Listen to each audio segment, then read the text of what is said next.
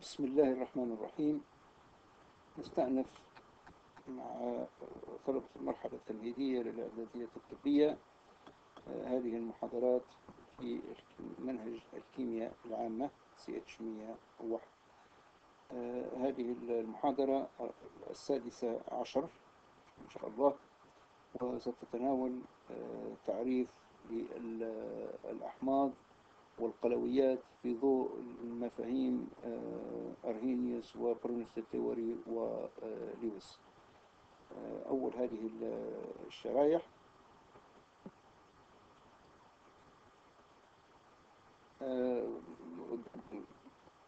قبل الشروع في شرح محتويات هذه المحاضرة نود أن نلفت انتباه الطلاب أن تفاصيل أكثر لهذه المحاضرة سوف تجدونها في محتويات الباب الخامس عشر من كتاب جيمس برادي.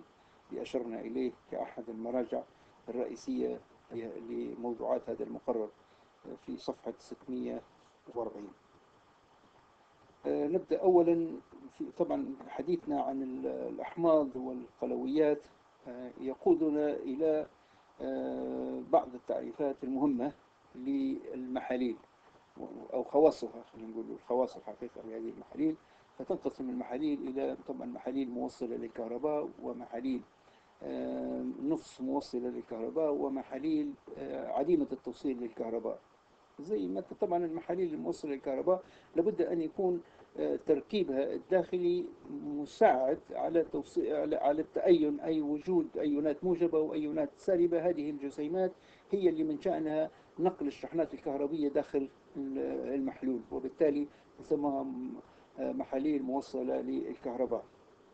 فإذا تنقسم المحاليل من حيث توصيلها للتيار الكهربي إلى محاليل موصلة للتيار الكهربي والتي تتفكك إلى أيونات أي مركب أي محلول يتفكك إلى أيونات موجبة وسالبة له القدرة على نقل هذه الشحنات داخل المحلول وبالتالي نصفه بأنه هو موصل للتيار الكهربي.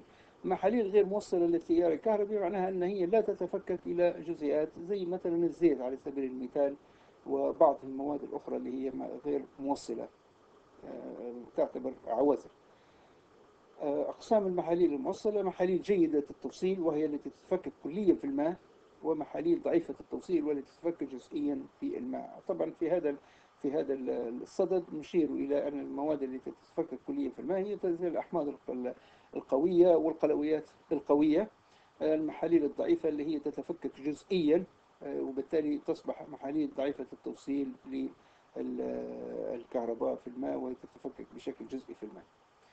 مفهوم آخر نود الإشارة إليه قبل البدء في تفاصيل هذا المفاهيم أو شرح هذه المفاهيم اللي هو الفرق بين التفكك والتأين التفكك هو تحول المركب زي ما نلاحظ الآن أمامنا هو تحول المركب الأيوني إلى أيونات في الماء مثال ال NaCl في الماء يتفكك إلى أيونات صوديوم موجبة وأيونات كلور سالبة هذا المركب متحد بالرابطة الأيونية نسموه مركب أيوني العملية نسموها dissociation أي تفكك التأين هو تحول المركب غير الأيوني تساهمي زي حمض حمض ال HCl لما نحطوه في المية يتأين إلى أيونات موجبة كذلك وإلى أيونات سالبة. هو زي ما يحدث الحقيقة لل NaCl غير الرابطة هي اللي تحدد ما إذا كان نوع التفاعل أو نوع التحلل اللي يصير لهالملح هذايا نوعه تفكك هذا نسموه تأين. يعني نحب نفرق بيناتهم هذوما اللي هو بين ال dissociation وال ionization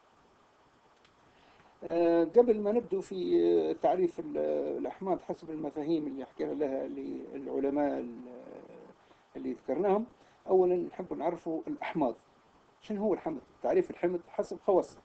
هي مواد تعطي عند تعطي عند تأينها في الماء بروتونات مائية. هيدروجين plus أو H3O أمثلة على الأحماض حمض الكلور اللي هو حمض الهيدروكلوريك ال HCl حمض الخل اللي هو ال acetic acid CH3COOH هذا حمض ضعيف هذا حمض قوي. شنو خواص الحموض أو الأحماض. البعض يسمىها الحموض والبعض يسمىها أحماض. هي طبعا حمض باللاتيني اللي هي ال acid تحتوي على الهيدروجين. مذاقها حمضي.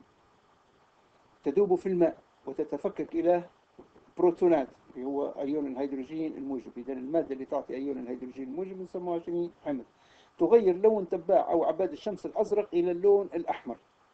إذا أضيفت إلى الخارصين يتصاعد غاز الهيدروجين. هذه بصفة عامة اللي هي الأحماض أو بعض من خصائصها الحقيقية ليست كل هذه الخصائص.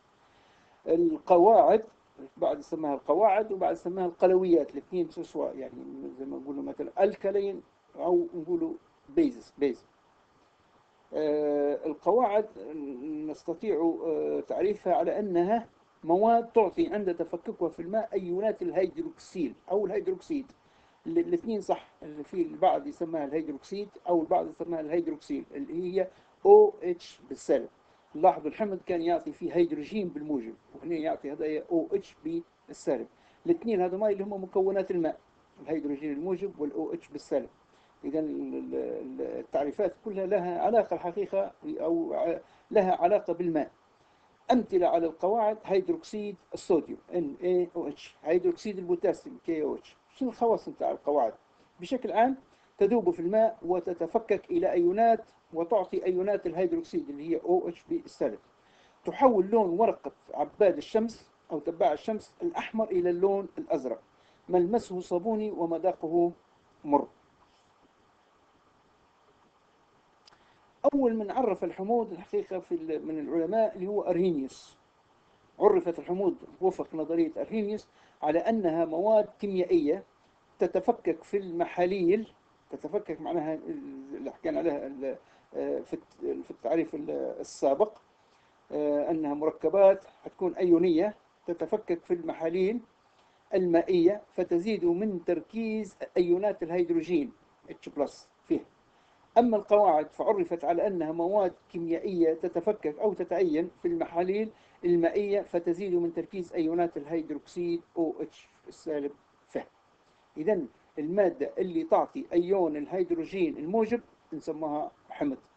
والمادة اللي تعطي OH سالب في أثناء تفككها نسموها شنو؟ قاعدة أو قلوي. هذا تعريف أرهينيوس.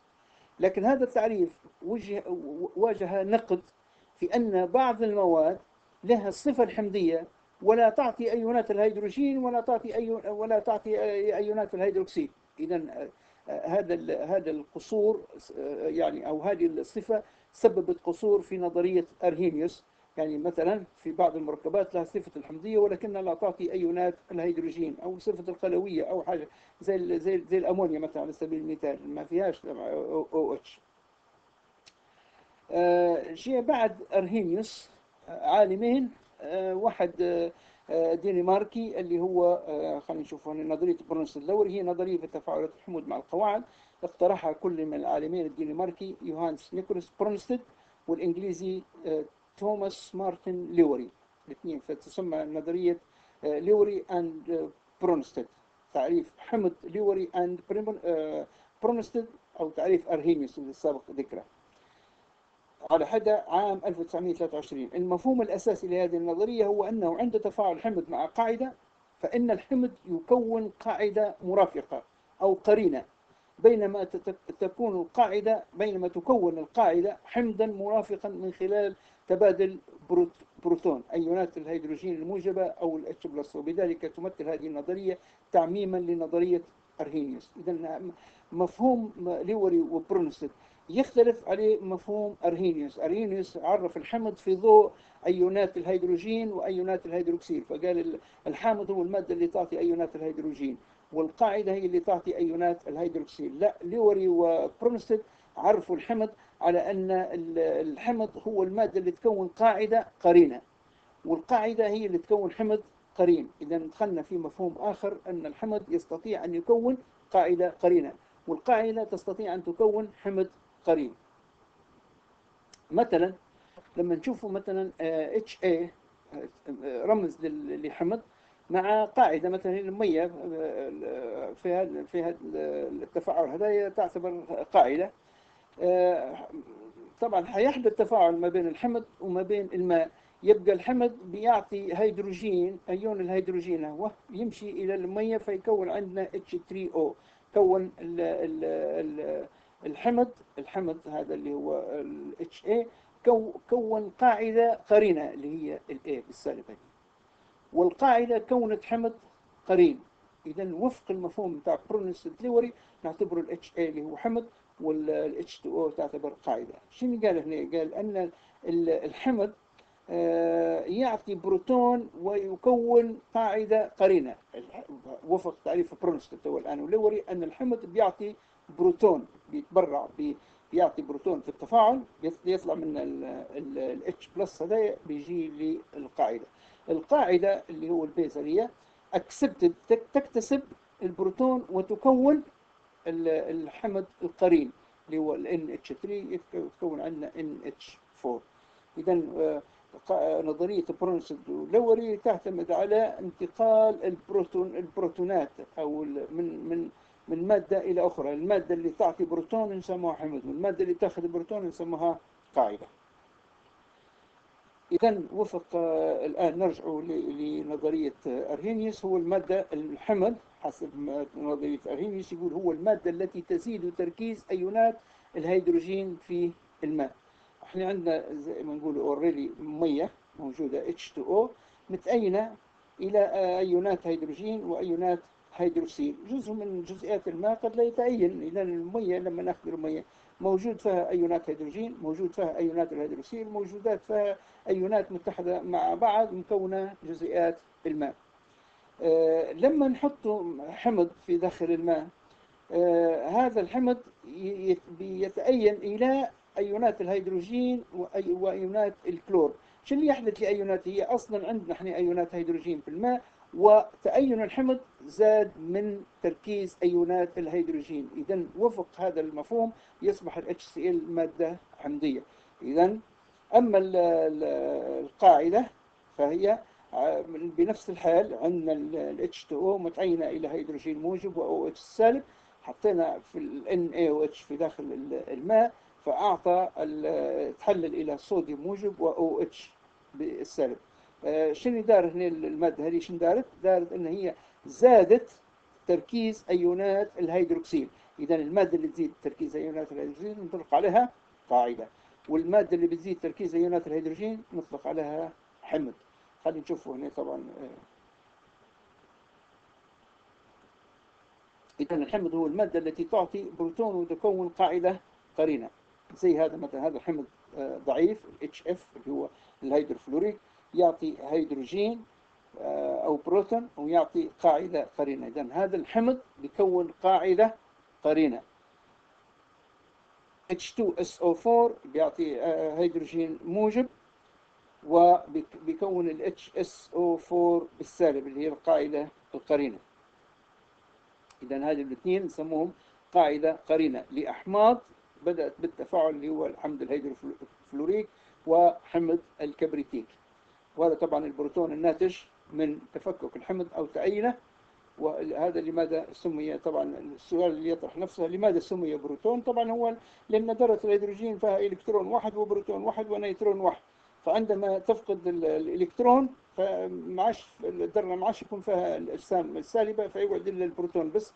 لذلك يسموه طبعا ال H plus هذه الحقيقة الشريحة تبين بعض الأحماض العديد والعديد من الأحماض اللي هي تستخدم في المعامل وتستخدم في الصناعة يعني perchloric acid وال hydroiodic acid وال hydrobromic هذه كل القلويات تتكون في المحاليل هذه. ال sulfuric acid ال H2SO4 اللي يكون ال HSO4 وال nitric acid القاعدة القرينة بتاعها اللي هو NO3 وهكذا حتى عفوا بعض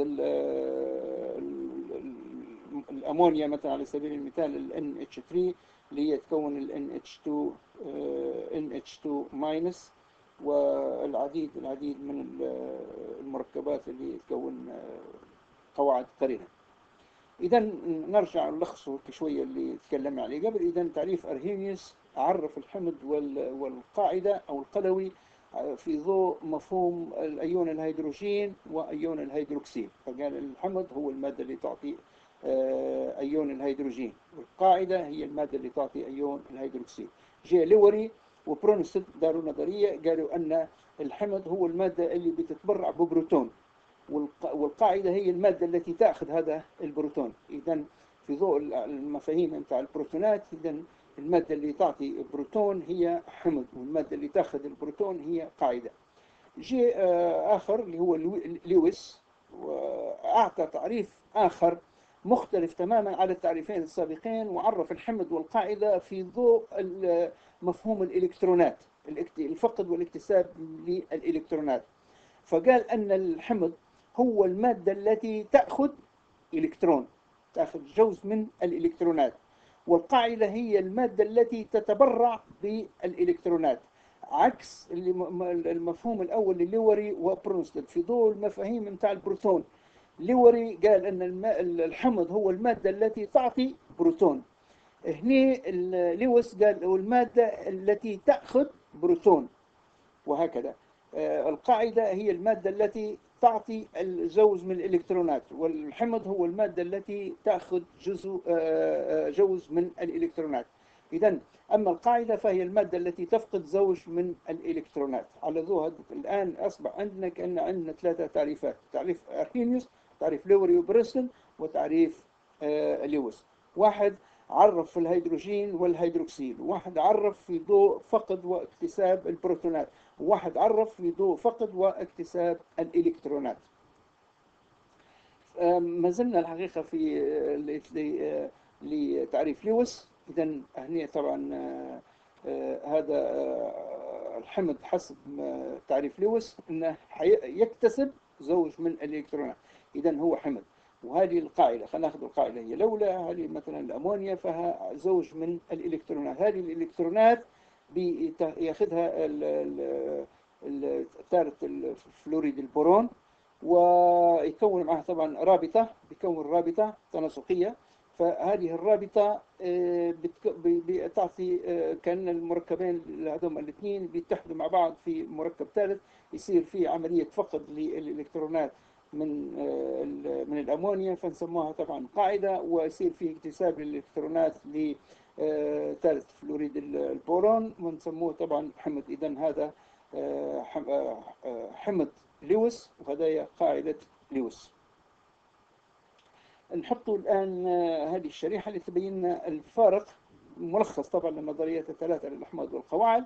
زي ما حكينا نظرية أرهينيوس تعريف الحمض قال منتج للهيدروجين أو منتج, آسف مش للهيدروجين لأيون المنتج للبروتون آه، اللي هو الهيدرونيوم. البرونستد ولوري قال مانح للبروتون. في لويس يستقبل زوج من الإلكترونات. هذا بالنسبة للحمض. منتج للبروتون مانح للبروتون يستقبل زوج من الإلكترونات. القاعدة عكسها طبعا بالنسبة للهيدروكسيل فأرهينيوس فسرها على أساس إنه هو منتج لل OH الحمض ومستقبل للبروتون ويمنح زوج من الإلكترونات. هذه الفروق الحقيقة اللي هي ثلاثة ما بين هذه النظريات الثلاثة لأرهينيوس وبرونستد ولوري ولويس.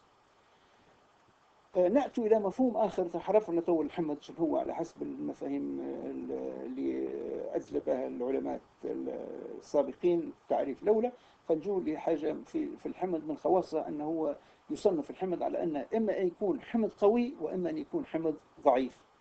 ما نتكلموش على التركيز. في حمض مركز وحمض مخفف. هذا شيء ثاني آخر مختلف تمام الاختلاف. التركيز والتخفيف على عدد المولات اللي موجودة في المحلول. هذا ليه يعني آه، مفهوم آخر. ممكن يكون حمض ضعيف مركز. ممكن يكون حمض قوي مركز أو مخفف أو حاجة من التخفيف والتركيز آه، ما لهاش علاقة الحقيقة بقوة الحمض وضعفه الحمض القوي أو سترونج أسيد آه، يتميز بأنه يتفكك كليا في الماء. الحمض القوي كيف كيف نفسروه كيف نتعرفوا عليه؟ نقولوا أن الحمض القوي يتفكك كليا في الماء. يعني لو خذينا HCl مثلا على سبيل المثال هو المثال حناخذوه في الشريحة القادمة يتفكك إلى أيون الهيدروجين اللي الموجب أو البروتون وكلورايد بالسالب.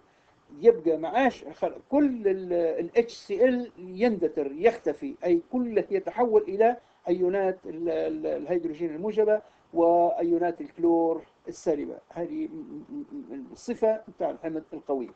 يكاد التفاعل ألا يكون عكسيا. ما هيش تفاعل عكسي الحقيقة هنا. التفاعل ماشي في اتجاه واحد. اتجاه التفكك متاع ال HCl في اتجاه تكون البروتون وتكون الكلور. تركيز أيون الهيدرونيوم يساوي تركيز الحمض الأصلي. حتى في حل المسائل سهل جدا لما يبي مثلا البي اتش ولا آه، مثلا البي أو اتش راح نشوفها ما تالي في محاضرة قادمة. يبقى سهل جدا إن إحنا ناخذ تركيز الحمض اللي دخلنا به. هو نفسه تركيز الأيون الهيدروجين أو أيون الهيدروكسيل ومن تم العملية الحسابية من وفق هذا المفهوم. اذا هذه الخصائص للحمض القوي أو strong acid آه، ناخذ مثال مثلا نحن ذكرنا في السابق اللي هو ال HCl آه، حيتأين إلى أيونات الهيدروجين الموجبة وأيونات الكلور السالبة.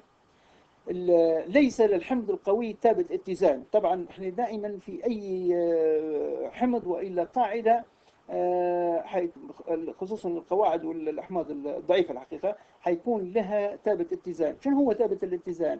هو حاصل ضرب. تركيز النواتج على تركيز المتفاعلات. تركيز النواتج اللي هو طبعا نديروا قوس هيك باش نعرفوا إن هذا زي ما ذاكرين هنا فاذا تركيز النواتج نلاحظوا هذه تركيز النواتج اللي هو هذا الهيدروجين الموجب مضروب في الكلور السالب مقسوم عليه ال HCl تركيز المتفاعلات. إحنا قلنا إحنا أن ليس للحمض القوي ثابت اتزان. هذا الكسر هذا اللي هو مقام بسطه آه تركيز بسطة تركيز النواتج ومقامه تركيز المتفاعلات هذا الكسر آه، نسموه ثابت الاتزان. ثابت الاتزان. ليس للحمض القوي ثابت اتزان. لأن تركيز المقام سوف يكون صفر. ما عاش عندنا زي ما حكينا بكري أنه هو الحمض يتأين بالكامل. يعني لا لا, لا وجود للاتش سيل ما عادش اتش سيل هنا كل المحلول تحول إلى هيدروجين موجب وإلى كلور آه، سالب. إذا ليس للحمض القوي ثابت اتزان لأن تركيز المقام سوف يكون صفر وتصبح القيمة رياضيا غير معرفة. زي ما نلاحظ هنا الآن تركيز الهيدروجين مضروب في تركيز الكلور مقسوم على تركيز ال HCl لأن ما عندناش HCl خلاص انتهي بالكامل اندثر كله تحول إلى أيونات الهيدروجين وأيونات الكلور يبقى التركيز بتاعها حيساوي صفر. أي قيمة رياضيا آه، مقسومة على صفر هي ما لا نهاية. إذا ما عندناش ثابت اتزان. آه، يحتوي الوعاء الذي به الحمض على ثلاثة مكونات. يعني لما ناخذ ال HCl ونحطه في المية في وعاء يصبح الوعاء يحتوي على ثلاثة مكونات. شنو هي المكونات الثلاثة هذه؟ هذا اللي هو أيون الهيدروجين وأيون الكلور والماء اللي موجود فيه أيون الهيدروجين وأيون الكلور. هذا هم ثلاثة مكونات فقط. لا وجود لل HCl إذا كيف حد يسأل كيف نفرق ما بين الحمض القوي والحمض الضعيف؟ أول حاجة أن الحمض القوي ليس له ثابت اتزان. هذه واحدة من الفوارق اللي موجودة ما بين الحمض القوي الضعيف وأهمها طبعا أن الحمض القوي يتأين بالكامل لأن الحمض القوي يتأين بالكامل في في الماء. آه، نجو طبعا للحمض ما زلنا مع الحمض القوي ثلاثة مكونات فقط موجودة بالوعاء خذينا ال HCl حطيناه في داخل الوعاء هذا اللي هو يحتوي عليه الماء هذا المكون الأول. حتحدث له عملية تفكك أو تأين إلى ايونات الكلور السالبة وايونات الهيدروجين. اذا المكونات اللي موجوده في الإناء هذا ثلاث فقط اللي هي الماء اللي موجود فيه ايونات الكلور وايونات الهيدروجين وايونات الكلور والهيدروجين. اذا ثلاثة مكونات واحد اثنين وثلاث هذا اللي هو الحمض القوي. الحمض الضعيف أو weak acid الحمض الضعيف يتفكك جزئيا في الماء. اذا لما ناخذ 10 مول مثلا من الحامض آه، يتفككوا منهم آه، خمسة نقولوا مثلا أو ثمانية آه، يقعدوا اثنين. لا يمكن للحمض الضعيف أن يتفكك بالكامل وإلا كنا سميناه حمض قوي لكن يتفكك جزئيا. ممكن جزئيا هذا على حسب قوة الحمض وعلى حسب خصائصه وعلى حسب يعني مواصفاته. فممكن يتأين بشكل كبير ممكن يتأين بشكل ضعيف وهكذا. الحمض الضعيف يتفكك جزئيا في الماء. التفاعل يكون عكسيا. نشير في المعادلة بتاع التفاعل. بسهمين واحد في الاتجاه من اليسار إلى اليمين واحد في الاتجاه من اليمين إلى اليسار.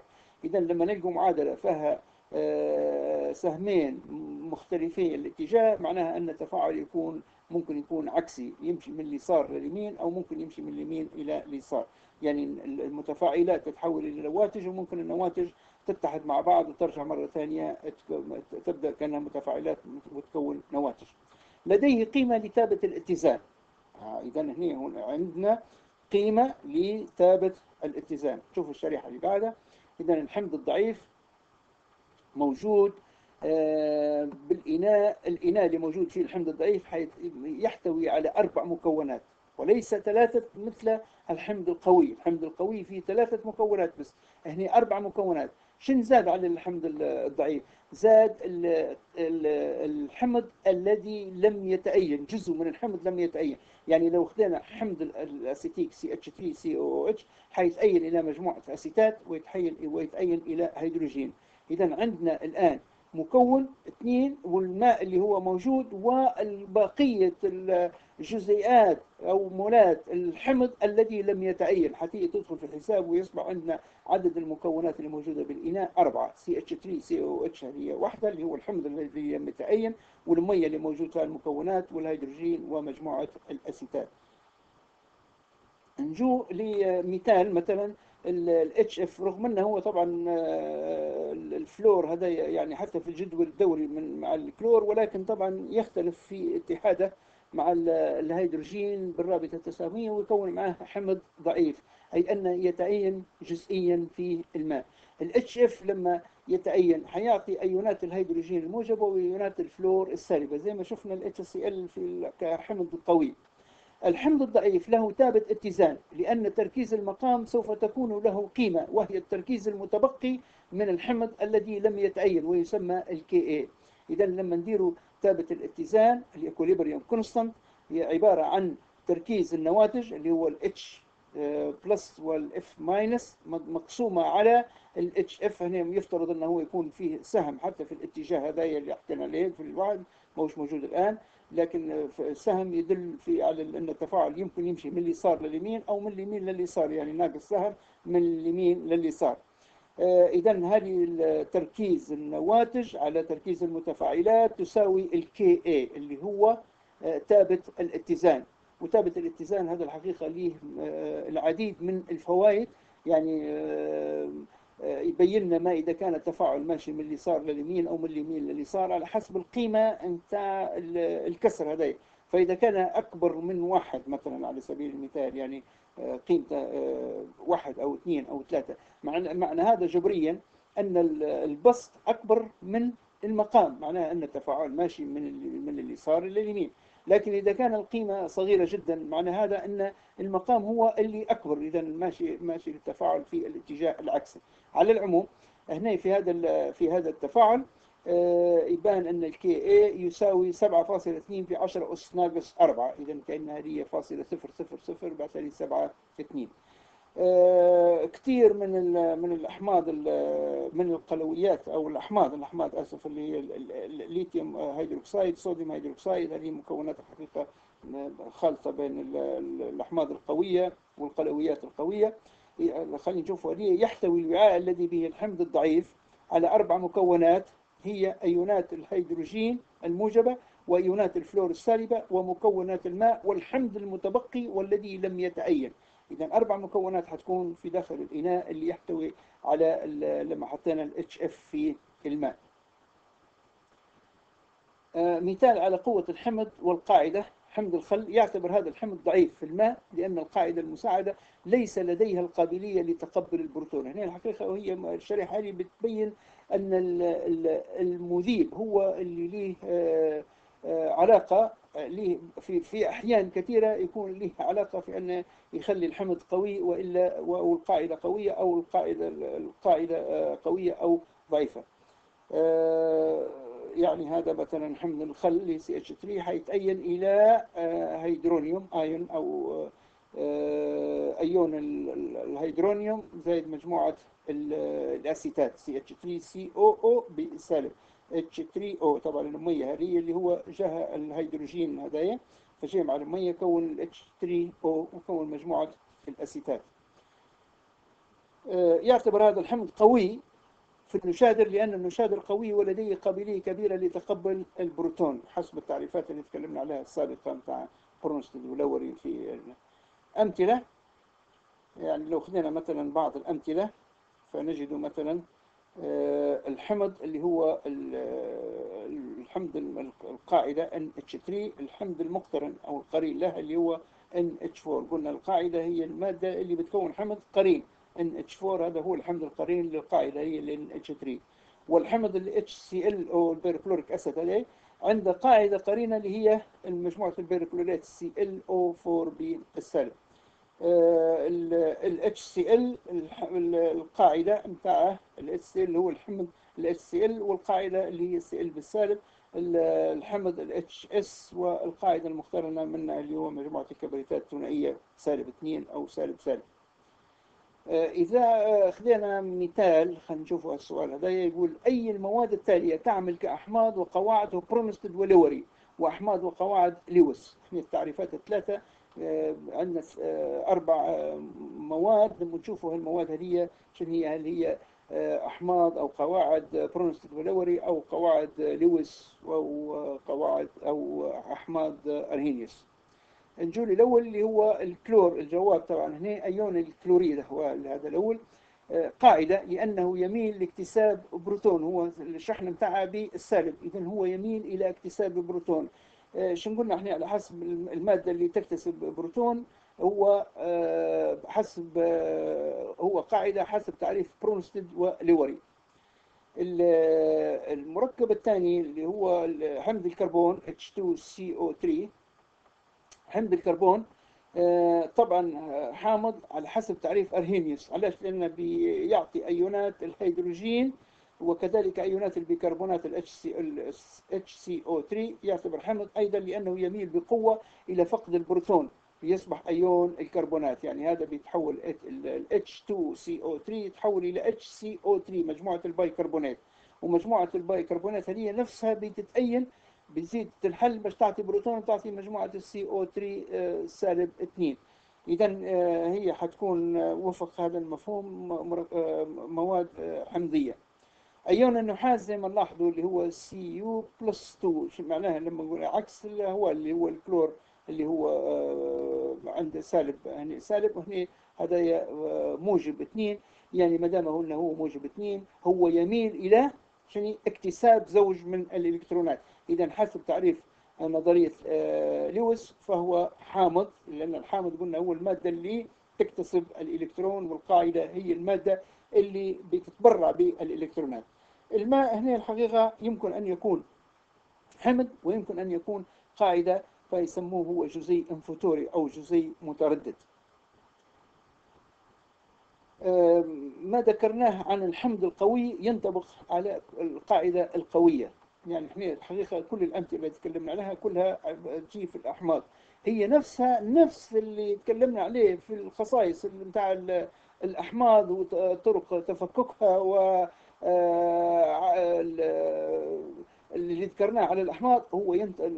على الحمض القوي ينطبق على القاعدة القوية وما ذكرناه على الحمض الضعيف ينطبق على القاعدة الضعيفة. الحقيقة اختصارا للوقت حبينا إن إحنا ناخذ المثال على الأحماض ونطبقه هذه سواء كان كان حمض قوي نقدر نطبقه على القاعدة القوية وإذا كان أخذنا الحمض الضعيف نطبقه الخصائص أو الكلام اللي قلناه أو المفاهيم اللي قلناها على الحمض الضعيف هي نفسها المفاهيم اللي موجودة في القاعدة الضعيفة.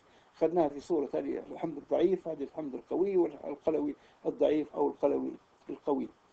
القاعدة يعني باختصار ممكن لربما نختصر بالنسبة للقاعدة القوية والقلوي القوي. نقول أن هي القاعدة القوية زي ما كنا بالنسبة للقلوي الحمض القوي تتفكك كليا في الماء.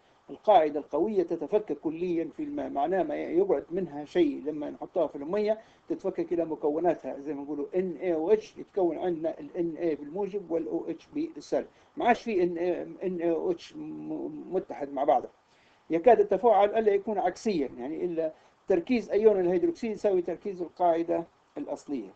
القاعدة الضعيفة هي تتفكك جزئيا في الماء ويكون فيها التفاعل عكسي ولديها قيمة بثابت الاتزان إذا باش نفرق بين الحمض القوي والحمض الضعيف. الحمض القوي ليس له ثابت اتزان والحمض الضعيف له ثابت اتزان إذا لما جينا مسألة فيها ما يقول لناش على الحمض ولا قوي يذكر لنا أن هذا الحمض عنده ثابت اتزان على طول وإحنا عيوننا مغمضات نعرف أن هذا الحمض ضعيف. يعني يتفكك جزئيا في الماء. ليش؟ لأن عنده ثابت اتزان كذلك القاعدة. إذا أعطانا ثابت اتزان لها اللي هي الكي بي فإنها لابد أن تكون قاعدة ضعيفة. وإذا لم تعطى قيمة لثابت الاتزان نعرفها أن هي آه، قاعدة قوية. آه، إلى هنا آه، ننتهي من هذه المحاضرة. نشكركم على حسن الاستماع وإلى اللقاء في محاضرة قادمة إن شاء الله.